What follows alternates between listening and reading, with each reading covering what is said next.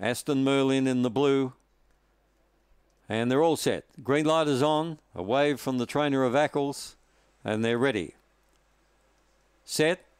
They're racing, even start, and away quickly. Alinga Ollie will lead early. On the outside, going forward is Maz's Princess, and now coming into it, Aston Merlin.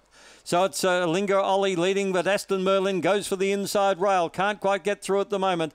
They're clear of Ackles as they turn the corner. It's on the outside. Alinga Ollie doing it well. He's too good. Alinga Ollie by length and a quarter. Aston Merlin Ackles. They're followed by Maz's Princess and Maddie Me was last of all.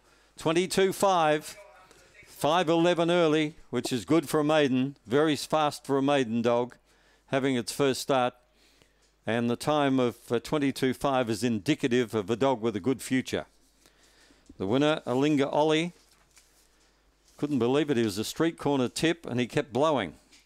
A black dog by Dyna Double One from Alinga Dot, raced by Yvonne King and the Davies, TNT Davy, and trained by Yvonne King and whelped in August of 18. So he's a, a real tender baby, this fellow. Second was for Aston Merlin. He looked a chance on the turn, but couldn't quite make up the ground. Ackles was a good effort first up for third, and the Maz's Princess was fourth. One and three quarters by four and a quarter. A very good run of 22.50.